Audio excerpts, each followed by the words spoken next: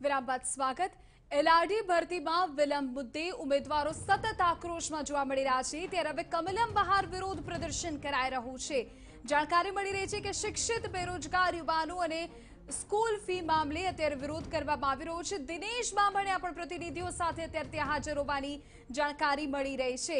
School fee માફ નહીં કરાય તો આંદોલન કરાશે તેવું બામણિયાએ નિવેદન પણ આપ્યું છે. અહીં આપણે એ પણ જણાવી દઈએ કે કમલમ ખાતે કેટલાક પૂર્વ ધારાસભ્યો આજે જ કેસરિયા કરવાના છે અને આ તમામની વચ્ચે કમલમની બહાર જ આ વિરોધ પ્રદર્શન.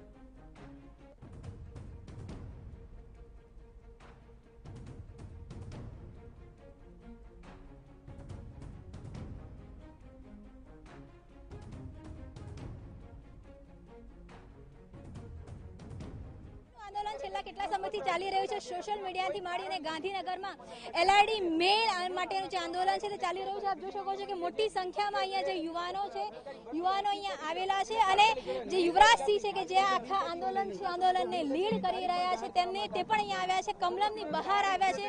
કમલમની બહાર અહીંયા આવ્યા છો. અહીંયા આવી અને પ્રોટેસ્ટ કરવાનું શું કારણ છે? એક કારણ એક માટે એક જ કારણ છે કારણ કે જ્યારે અમે સરકારી કચેરીઓમાં જઈએ છીએ ત્યારે અમને સાંભળવામાં નથી આવતું અને ધૂતકારી દેવામાં આવે છે. અને અમારી કોઈ પણ માંગ છે એ અત્યારે સાંભળવામાં નથી આવતી. એટલા માટે અમે ધારાસભ્યને અમે રજૂઆત કરવામાં આવે છે કારણ કે અત્યારે મને ચોટ શું કહેવાય ચૂંટીને અહીંયા મોકલેલા છે. તો ચૂંટીને મોકલે તો અમારો પગ સાંભળે અને અમને અમારે ખરેખર ન્યાય આપે. શું માંગ શું છે તમારી? અમારી માંગ શિક્ષિત બેરોજગાર યુવાનોને લઈને છે કેમ કે અત્યારે ઘણા સમયથી છેલ્લા ત્રણ વર્ષથી શિક્ષિત બેરોજગારીની જે ભરતી પ્રક્રિયા છે સરકારી ભરતી પ્રક્રિયા છે એ કોઈને કોઈ કારણોસર ઠાલવી દેવામાં આવી છે. કોરોના તો ત્રણ મહિનાનું બહાનું છે. ત્રણ મહિનાની આ ત્રણ વર્ષથી ભરતીઓ પેન્ડિંગ છે. ભરતીઓ પૂર્ણ કરવામાં આવે અને જે નિમણૂક પત્ર આપવાના બાકી છે ફક્ત તમામ પ્રોસેસો પૂરી થઈ ગઈ છે ત્રણ ત્રણ વર્ષથી અને નિમણૂક પત્ર નથી બધો નિમણૂક પત્ર આપવામાં આવે. બિલકુલ તો આપ જોઈ શકો છો કે એક તરફ નિમણૂક પત્રક માંગ કરવામાં આવી રહી છે અને તમામ લોકો પણ અહીંયા છે.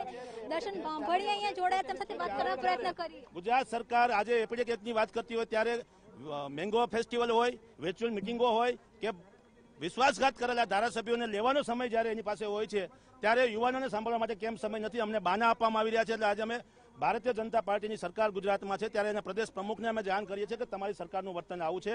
તમારા સરકારના અધિકારીઓ આજે તમને પણ નથી ગાંચતા ત્યારે આ પરિસ્થિતિ ઊભી થઈ છે. આપ જોઈ રહ્યા છો કે કેટલા તમામ લોકો, એલઆરડી હોય આઈટીઆઈ હોય જીએસ ટાટ વન ટુ હોય કે જીપીએસસીની તમામ પરીક્ષાવાળા વિદ્યાર્થીઓ આજે ગાંધીનગરમાં છેલ્લા આઠ જોઈ શકો છો તરફ એલઆરડી ને નિમણૂક આપો તે પ્રકારના જે બેનર છે તે લાગી રહ્યા છે. તો બીજી તરફ એચ ટાટ માટેના પણ બેનરો સાથે અહીંયા જે મહિલાઓ છે મહિલાઓ ઊભી છે તેમની સાથે પણ વાત કરવાનો પ્રયત્ન કરીએ. એચ ટાટ ને લઈને જે બેનર છે તેને લઈને ઊભા છો શું કહેશો? સરકાર આડત્રીસ હજારની બધી ટોટલ ભરતીમાં હજુ સુધી એકય ભરતી પૂરી નથી કરતી. એમના દરેક ફંક્શન કરે છે મેંગો ફેસ્ટિવલ કરે, ત્યારે બધાને ભેગા થાય છે, દરેક વસ્તુ થાય છે. જ્યારે અમારી વાત આવે ત્યારે બધાને વાના બતાવે. અને જે લોકો રજૂઆત કરવા જાય છે ગમે તે રીતે, તો એમને અંદર બંધ કરવામાં આવે છે. એટલે દિનેશ બામણીએ સીધો સવાલ કર્યો કે ધારાસભ્યને ભાજપમાં જોડવાનો સમય છે તો